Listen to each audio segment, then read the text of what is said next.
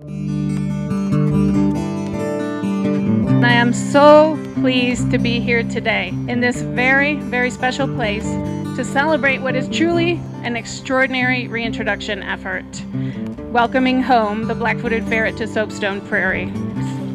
In the 70s, we thought that the black-footed ferret was extinct, a lost species.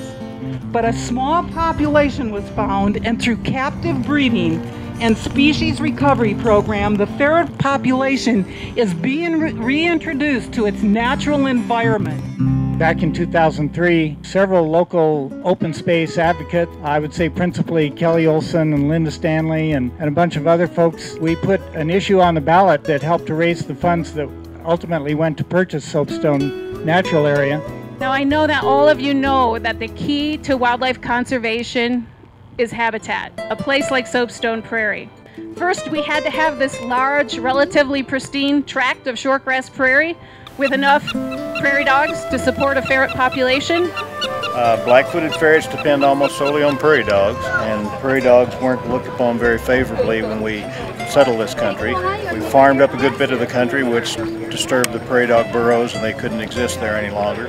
And then we poisoned a lot of prairie dogs to stop competition with domestic livestock. And then a foreign disease came into this country, sylvatic plague, which neither ferrets or prairie dogs had any immunity to. So where we're going to put ferrets out, we're going to have to address disease management, but also find a way to work with livestock operators to where there are enough prairie dogs there for ferrets, but not so many that it's a problem. And the fact that the city and its livestock raising partners like the Soapstone Grazing Association have come together to help restore what was once the most endangered mammal in North America. I want to thank all of our leadership at the City of Fort Collins, especially the Natural Resource Department, and our federal and state partners. Representative Fischer was responsible for co-sponsoring the bill this year that allows local entities to reintroduce endangered species to locally owned properties. First. Oh, are you ready? Yeah. Oh. Says go.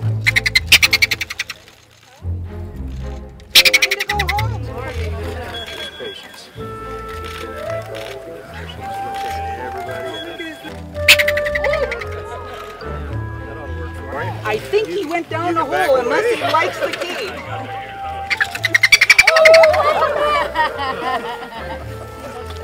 he loved wearing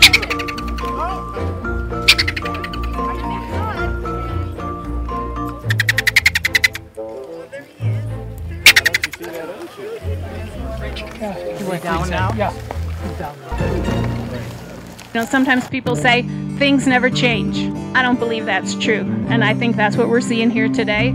This place, Soapstone Ranch, will be different because black-footed ferrets will now call Soapstone Prairie home.